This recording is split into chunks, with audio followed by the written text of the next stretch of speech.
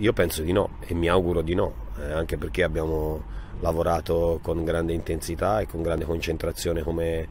eh, abbiamo sempre fatto fino a questo momento e sicuramente incontriamo un avversario molto molto difficile, questa è una partita difficilissima è una squadra forte il Cerignola quindi eh, sarebbe un errore grave se i miei giocatori eh, non entrassero in campo concentrati.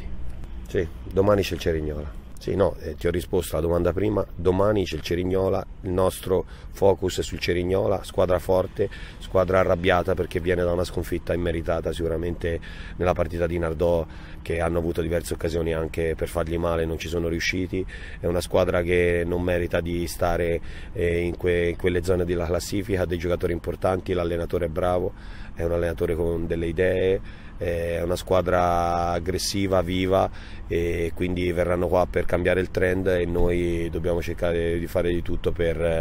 eh, per non farglielo cambiare. E in grandi linee avevo delle idee stamani, poi vedendo l'allenamento di stamani mattina